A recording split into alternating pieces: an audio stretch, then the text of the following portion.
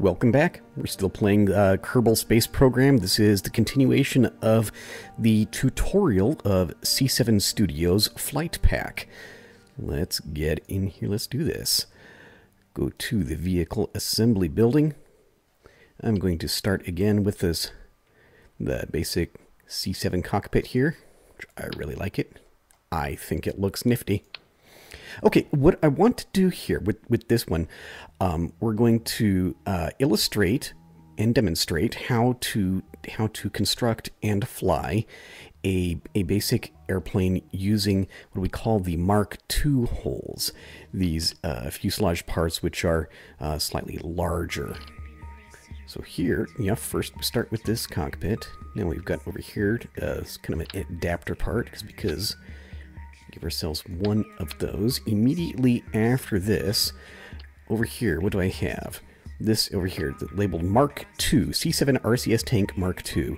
This design, we're eventually going to be doing stuff with RCS stuff, so I want to have two RCS tanks, because I expect we're going to be burning through it. After those RCS tanks, over here in Command and Control, SAS Mark II Light. Boom. There we go. Okay, so yeah, this, this airplane is going to be a little more advanced last than the previous. It's going to have additional capabilities built into it. Okay, now we're over here, the this basic Mark II hull. The airframe fuselage features the latest re-entry survivability. Hey, that sounds good. I want to have three of those in a row. Yeah, this this airplane is going to be significantly larger than previous. I actually, I'm having to kind of go uh, contrary to my to my own natural instincts. I kind of like small airplanes, but those tend not to be very stable. And the end, the whole the whole goal of this project is to make um, make C7 spacecraft space planes that are easy to fly, easy to build, easy to fly. So, and easy to fly, that usually means stability. Stability comes from, uh, you know, more length, more breadth, you know, more length. Uh, the longer it is, then the, usually the more stable it'll be in pitch, and the the, uh, the wider your wingspan, then the more stable it'll be in roll. Yeah, we'll put all the tail fins on it. Yeah, it'll be good. Okay, enough rambling. What is this thing over here? Uh, here with this adapter part. Put one of those on there. And of course, our basic C7 engine on the back. Uh, on this one, I'm really not going to play around with, with the Mark III hulls. I mean, you'll see what we have. You can put another adapter on there, and then we go over here to these, uh, the Mark III, and, and, and, oops, hang on, hang on. See it from the side, and then that makes it even bigger. Uh, you know, if you're for your large behemoth space shuttle size designs, uh, you can have some fun playing with it. There's a whole bunch of options in this pack, which I'm not going to get around to. I'm, I'm, not actually doing that in this one. But it's, it's it works. It's pretty much the same thing, you know. As long as we could get this one working, yeah, you can get you can get a space plane space plane working with the the Mark III hull, no problem. Kind of the same deal. We've got several of these other like uh, a bunch of these smaller wings, which are good for the the smaller space planes. But again, those the smaller. They're kind of they're little sports cars, little sports car space planes. Slightly more difficult to handle. I'm not really going to get into those in this tutorial. Okay, so the wing design. Uh, the wing design for this vehicle uh, we're going to continue with what worked out just fine with the first one, having the, the delta wing in back and the canards up front. I believe I'm going to put my canards up here front first. Uh, you notice I'm not just using these um, uh, the the designated controllable canards here. They're not quite large enough for all the, the control and lift I'm going to need for this larger airframe. I have the two-way symmetry turned on because these are not actually control surfaces themselves. Okay, so I'm actually going to use the delta wing as a canard. Now I'm going to turn the symmetry off and go over here and pick up um, these control surfaces. And these, I want the symmetry turned off because canards work better when they're used as elevators I want both of these control surfaces to move in the same direction. Alright, turn to asymmetry back on. And, okay, we're our vaguely wing-shaped board, or rectangles? Alright, go over here, zoom in just a little bit. I'm to line the back edge up with that adapter, the sloped edge of that adapter, like that one. And I'll put another one in front of it so it butts up against the back one. And one more time, three times. These guys, get that all lined up just perfect like that. Okay. Now our triangles to smooth out this delta wing. Still symmetry turned on.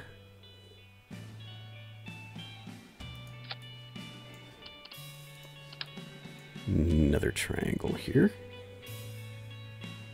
It's a triangle. Come on, get in there. It's arguing with me a little bit. Yeah, that works. And I'm going to go back to standard delta configuration wings again. Oops. Line that up in the back edge. Yep. Yep, looking pretty pretty similar to the previous design, ain't it? But just kind of larger, beefier. All right, I need me some ailerons, so here we go. Flight surface, two-way symmetry turned on for these guys so that whenever I roll, one will move up and the other one will move down. Okay. So now, next step, I, I need to have some a tail fin on this thing. Vertical stabilizer, actually, what that's called. Tail fin is good enough. Uh, turn symmetry off. And in again, because this one's larger, I'm thinking that this um, our official tail fin part isn't quite as large as what I want out of this thing. Uh, so I'm actually going to get the standard Delta configuration wings, one of my very favorite parts and multi-use. Can use, use all kinds of things in this pack. Line that back edge up there. One of those, okay. And while I'm here, Again, got this standard all-purpose control surface here. And let's put a rudder on this thing. Uh, some of the flight testing that I was doing earlier, I didn't think that this was quite as stable as I wanted just with even with this single massive vertical stabilizer, the tail fin. Here's what I think will work. Come over here and grab the all-purpose triangle again. I'm going to put uh, two of these right next, right next to the vertical stabilizer. Okay, about like that. Is that symmetrical? Looks symmetrical to me. Uh, the way I was evaluating like how how much how many tail fins I want see whenever I start flying the thing I, I like to see that the um, on the nav ball the, the the direction of travel is is lined up that the, the, the marker on the nav ball is, whenever I turn, remains aligned with the, the marker for direction of travel without having to use a whole lot of rudder. That's, that's evidence that the, that the tail fin is doing its job and that the airplane is not slipping and skidding through the turns. Okay, wheels. Airplane's got to have wheels. Gear C, put it up there up front in the middle.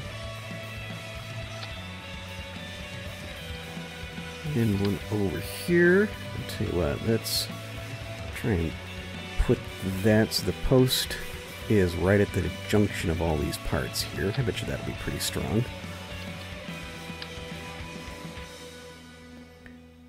And duplicate it with this one on the other side.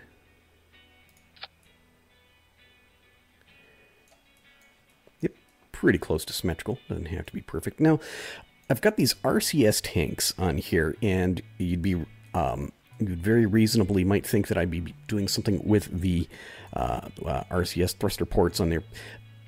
I'm not going to do those yet. That That's the subject for another tutorial. It's like the next chapter in the tutorial. I want to demonstrate first that this aircraft will fly. It will handle just fine uh, without needing to add any RCS parts, any any uh, RCS thrusters. So, yeah, I guess I guess the, the tanks are kind of dead weight right now, but yeah, we'll get back to those later.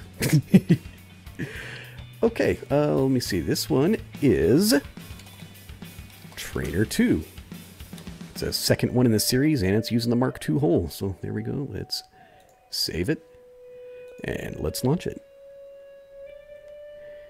Here we are. Throttle up, 100, and let's go. Yeah, see, it's, can see it's slightly more sluggish getting off of the launch pad, but it'll accelerate just fine. I think this one needs a little more throttle than the previous design. Say, say half throttle to two-thirds throttle is it where it usually responds best.